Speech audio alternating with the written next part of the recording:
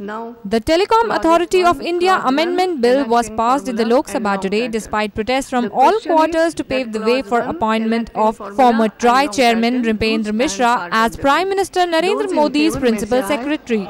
Those against may say The no. bill is to replace an ordinance issued on ayes have 28th. May to change a clause in the enacting TRAI formula Act which would have prevented Mishra part of the from taking up the The government after demitting his that the bill office. The BJP has move that the bill defended the kindly be passed. ordinance while the Congress has criticized the government for showing undue haste in bringing a specific in favor may ordinance.